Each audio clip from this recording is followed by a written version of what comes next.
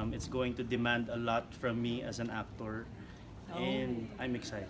Okay. Um, marami rin dito mga actors and actresses. Sinong gusto mo, meron ka bang nakikita gusto mo makatrabaho?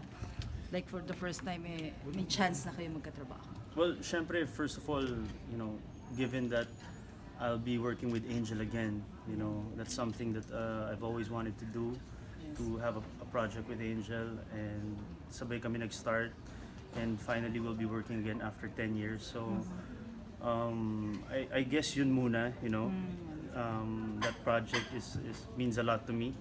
So, I'm excited to work with Angel. Nakapag-tape ka na sa Luna.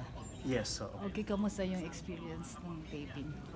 Um, sarap, sarap, uh, sarap to be back on the set, sa na, mapuyat ulit, embracing the grind.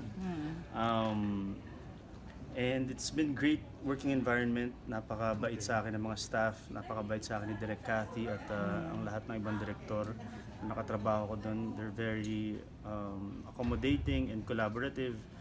So I'm enjoying, I'm enjoying the process. So agad ramdam mo na yung kapamilya na pagmamahal. Yes, agad naramdaman ko kagad and I'm thankful. Okay. Chard,